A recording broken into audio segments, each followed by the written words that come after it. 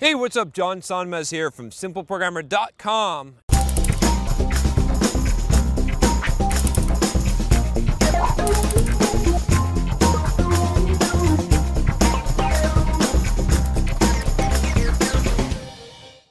Tired of pushy recruiters sending you LinkedIn requests for jobs you have no interest in? Tired of blasting out resumes into the dark? If so, you should check out Hired.com. Hired.com flips job searching on its head by having top employers like Facebook come to you after you fill out one simple application. You also get your own job coach to help you on your next job search. If you haven't checked it out, I highly recommend you at least fill out the application. Just go to Hired.com forward slash simple programmer, and when you get hired with Hired, you'll get double the normal sign on bonus for using that link. And I got a, a question that says, I think I'm very bad at programming. Uh, this is from uh, Vilmus, and he says, I'm currently on Udemy's Java course, and in this course we get challenges to utilize information we learned. At the beginning it wasn't hard. When I look at how the instructor completes a task, it looks really not that hard, and I can fully understand the code he wrote but I can't imagine myself writing code like that. Do you have any ideas, books or websites or advice from your life to practice thinking or how do you call that? Uh, please help uh, and as always, sorry for bad English. Well, your English wasn't, wasn't that bad. I, I wouldn't worry about that.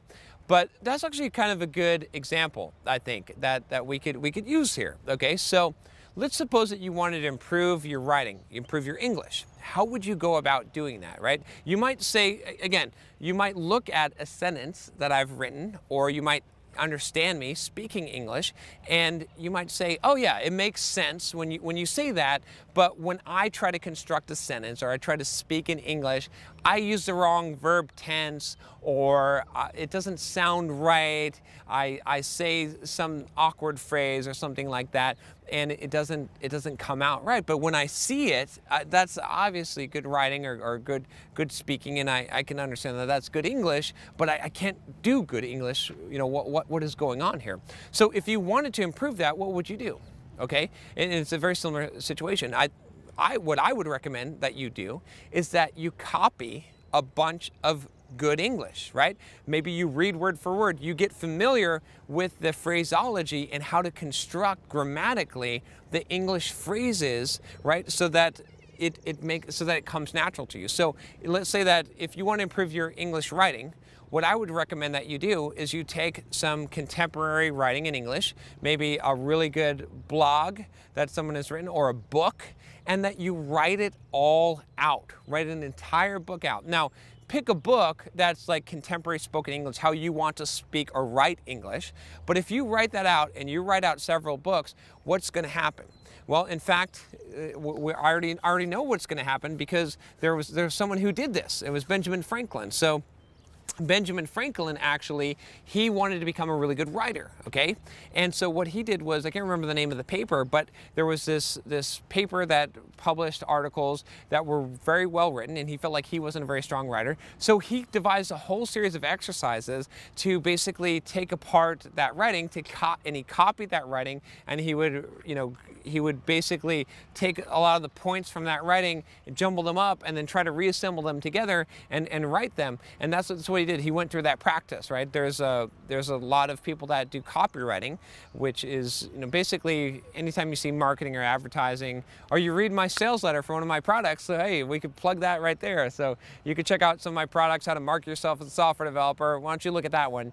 If you look at the sales page on there, that's copywriting, okay? Now, one of one of the guys that, that wrote that, his name is Josh Earl. He's an excellent copywriter. He works here at Simple Programmer. He's, he's part of part of the team, my, my business partner here.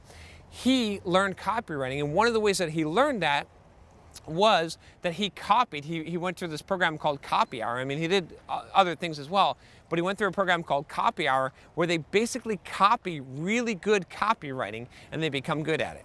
So why am I telling you all this? Because simply it's, it's the same thing, okay? You look at someone's code and you say, oh yeah, now it makes sense. I could have solved it that way. That example, you know, it, it makes sense to me, but I could have never come up with that on my own, okay? But if you if you do that enough times and you copy what they did, so actually write out their solution. So don't just look at their solution and say, ah, yeah, that makes sense. Instead, write it out. Look for good code that is solving that problem and actually re, re-implement it yourself, right? So you've seen the answer that the teacher made. Now don't leave it at that. Copy the answer, okay? Now do it from scratch. So copy the answer once looking at it so that you can understand it and make sure you understand all the elements in there, okay? And then wipe the board clean, okay? And, and write from scratch the answer using what you know now. Now, you know, and test yourself. Keep on doing that. It's, it's, like what Benjamin Franklin did with when he improved his writing skills. Okay, same thing. Like I said, if you want to improve your English writing skills, you would do something similar. You could take an essay and you could rewrite that essay, right? And you could rewrite it as best as possible from memory, and then you could look at it and compare it and say, oh, look, that's weird where I use this awkward phrase. The other thing that you can do that I think will help you as well same thing that would help with writing or, or learning English is, let, us say that, again, you wanted to improve your English writing. Well, write a, a nice long blog post or essay and then have a native English speaker look at it and explain to you what, what is wrong. Oh, this is why you shouldn't say it this way. You use the wrong verb tense and explain to you exactly what's wrong. And then the opposite, which you could do, is you could take someone who had written really good English, who had written an essay, and, and all the parts where you don't understand like why they made these choices, you could ask them what was the logic behind that. Again, you could do the same exact thing with programming language, right? So take your instructor's code and say, ah, okay, what made you think to decide this? What made you think to use this data structure right away, right, and, and, to write your code this way and go through that process? So there's multiple avenues of attack here, and I know that this works 100% because I actually started to become a really much better programmer when I started doing Topcoder. And the whole thing with Topcoder is that you solve a problem, okay, and you try to solve a problem, and then you have this period, this phase where you see how other people solve the problem and you try to challenge their code, try to find bugs in it. And I kept looking at people's code and I was like, man, I could never figure out how to write a solution like that.